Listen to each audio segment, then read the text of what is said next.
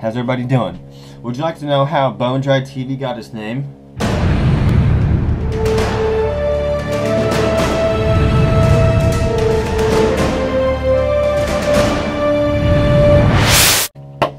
So, you guys should just sit back and listen, grab you a soda, grab you a beer, grab you something to drink or something to eat, and just sit back and relax.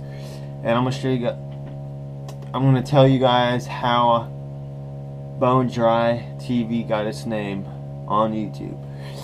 So,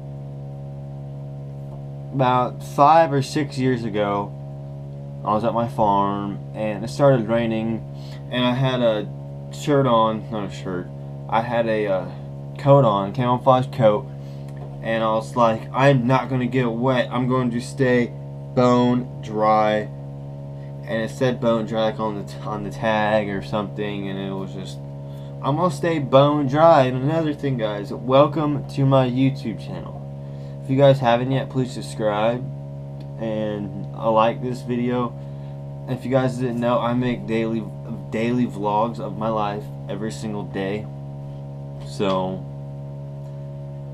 feel free to subscribe right there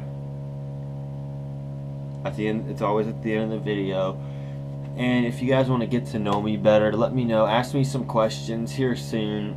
I think me and Jessica I think we should do a Q&A so let me know. Give me some questions in this video.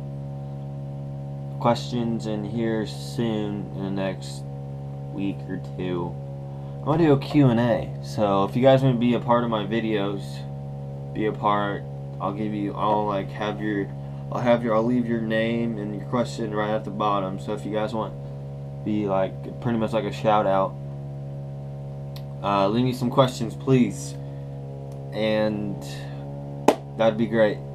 So if you guys I guess yeah. So I will see you guys back in my vlogs